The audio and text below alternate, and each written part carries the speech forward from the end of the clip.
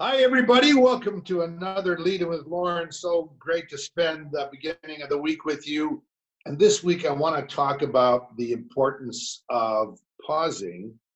And I want to put a little bit of science, I guess, behind it as well. And a lot of times people talk about taking a moment and pausing, and you probably heard that before, before acting. And Peter Bregman, who's a highly regarded psychologist and author, has got a book out actually called The Four Second Rule and he talks about how powerful that just pausing for four seconds can make a difference around how you might uh, take a more appropriate action or actually even using that four second rule to help you with uh, with forming better habits you and i.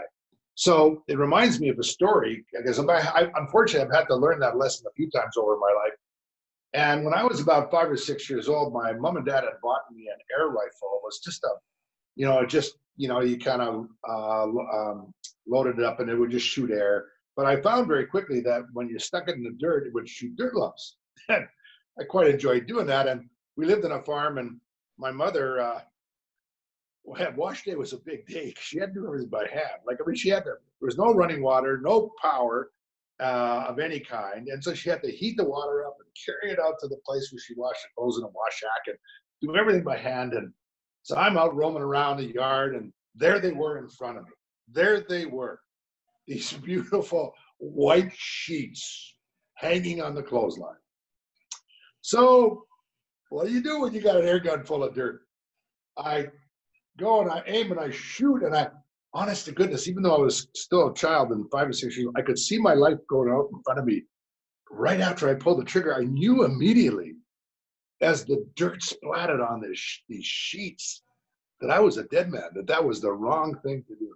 Anyway, I won't tell you what, what happened, but you can guess. And my mom and I, who's now going to be 90 in less than a month, we talk about it and laugh about it. It wasn't very funny for anybody at that day. And you know, I unfortunately I've repeated that mistake from time to time. Even this past week, I sent an email out um, that where I reacted very quickly to a, uh, an email that I didn't like, and um, it wasn't helpful. It was maybe uh, was it was more harsh than it should have been, and even bordering on rude. I was not my best self. And if I'd have taken that four seconds and paused, if I'd have taken Bregman's advice there, taken a deep breath and paused, I wouldn't have sent it, or I would have sent a much uh, something with a better tone.